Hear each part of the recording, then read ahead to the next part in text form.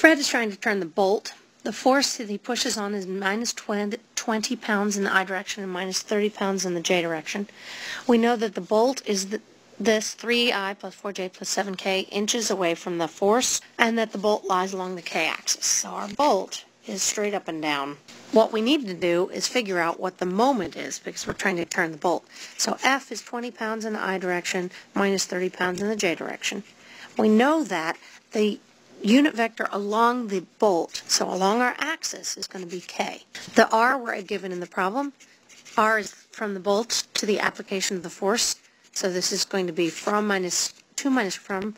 It's going to give us actually this r vector. And the moment at the bolt head is r cross f. r goes on top. So they got 3, 4, 7 on the top, minus 20, minus 30, and 0 on the bottom. Go ahead and do the cross product. This gives us the moment at the head of the bolt. 4 minus 0 minus 30 times 7 in the i direction. Don't forget the minus sign when you're doing these cross products for the j component. 3 times 0 and minus 20 times 7. So the minus component has this negative right here that people often forget. And then I've got 3 minus 30 minus 20 and 4 in the k direction. Let me multiply that out. That's minus, uh, positive 210i minus 140j and minus 10k.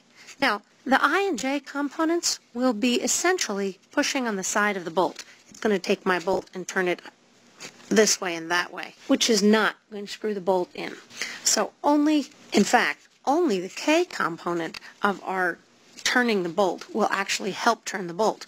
So this is this minus 10.0 inch pounds. That's the component along the axis of the bolt. Because we don't always know that we have this easy bolt lies in the k direction, we actually want to say that the moment along the axis, whatever it is, is the dot product of the moment somewhere and the unit vector along the axis. So our unit vector along the axis is k. So if we take the dot product of m and k, 210i minus 14j minus 140j minus 10k, and the dot product our unit vector is just k because our bolt is in the k direction.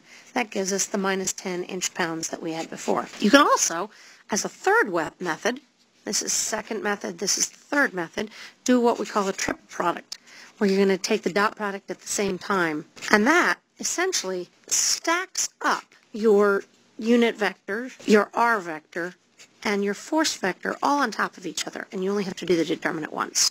If you do the determinant of that matrix, you get minus 10 inch pounds.